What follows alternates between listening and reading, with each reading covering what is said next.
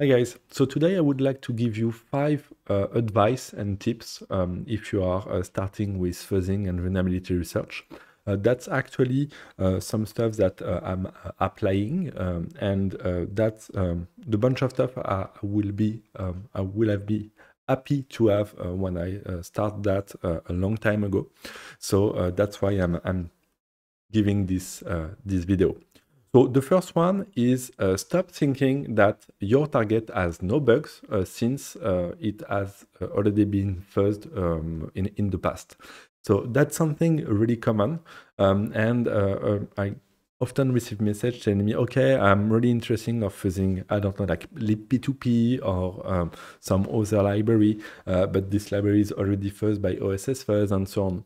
Um, the first thing I want to say is um, you will only get result, your, your fuzzing result is dependent of the, the fuzzing harness and the part of the code you are reaching.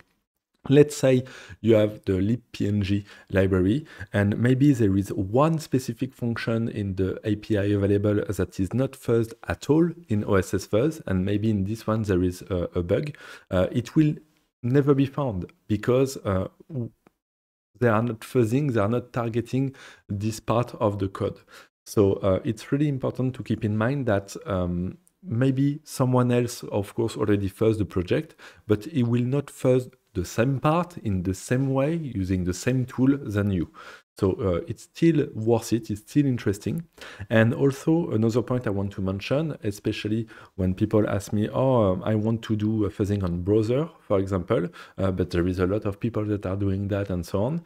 Um, sure, there is a lot of people doing fuzzing on web browser, uh, but you can still find bugs. Uh, there is bugs that are found uh, every month, every weeks, uh, and um, it's not just the part that maybe this bug is there for like quite a long time.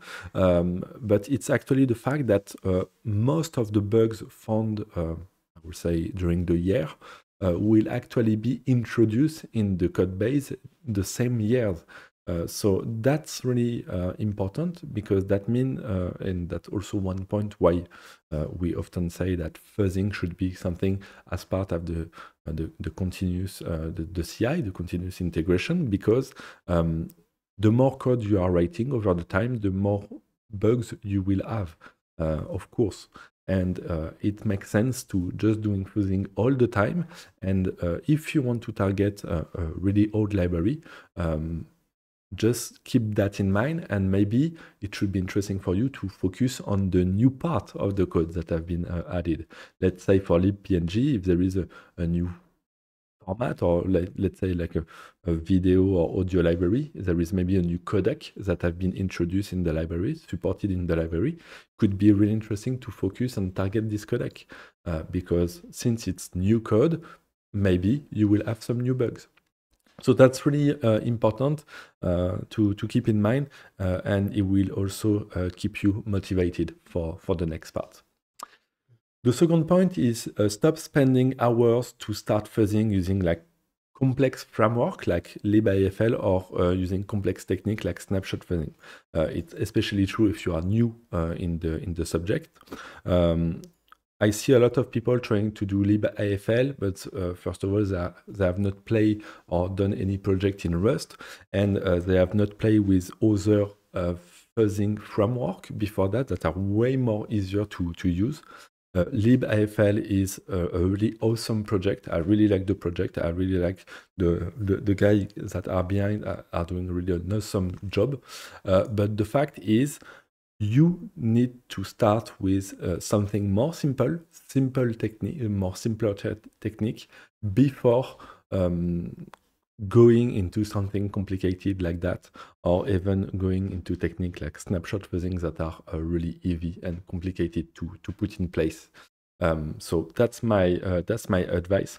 And also, um, if you are doing something progressive uh, like that, uh, starting with like dumb or smart fuzzing and coverage guided fuzzing, if you have uh, of course the, the, source code and so on, um, by the time you will discover the target, you will discover new API, uh, you will discover maybe uh, take a look at unit tests and see how the library is supposed to work. And then it will be even more easier for you to just um, go deeper and deeper and improve um, your, your first target and your coverage. So that's why it's really like a win-win situation.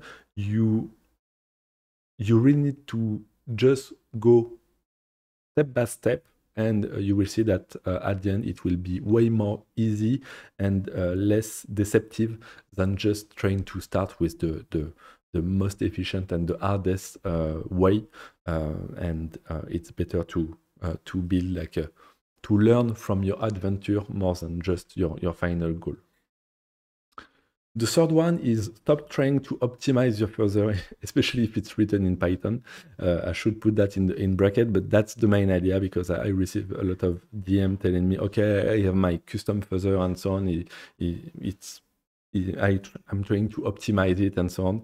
Uh, the fact is, um, and it's what I mentioned, it's like trying to make your shopping cart efficient on the highway. Uh, at some point, it's not possible uh, anymore. So um, at first, it, it may be easy. You are testing stuff uh, and uh, you you are doing like your proof of concept.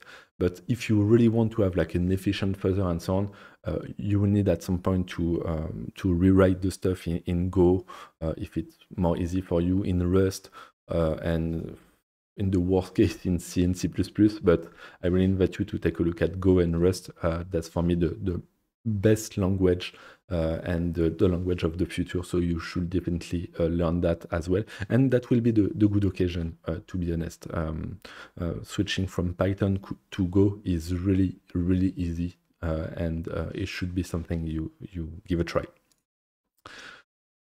Stop thinking a bug isn't worth reporting. Um, so maybe you will um, try to play with a, a, really simple target, not used a lot, and uh, you will uh, not trigger like a RCE.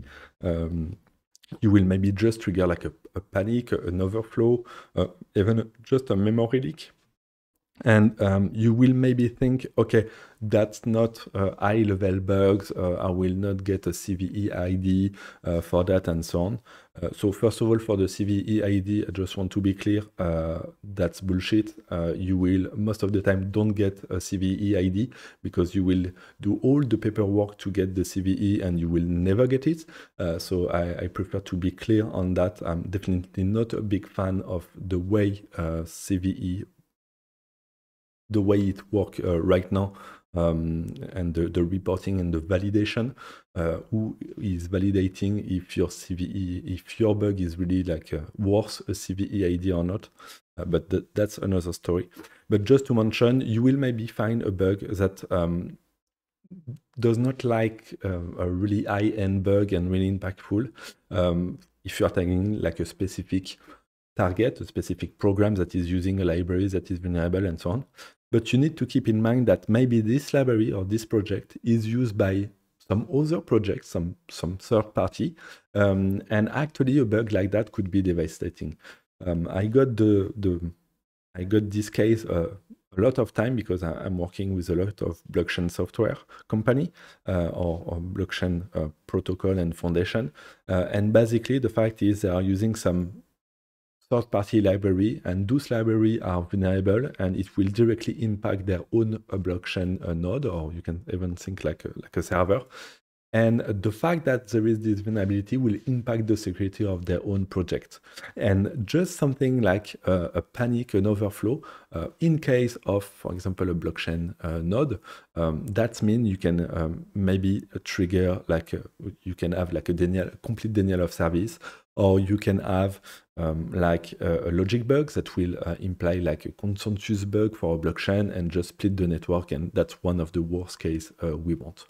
So um, something really simple, not really critical for, I don't know, like client side uh, program will be something devastating on the server side.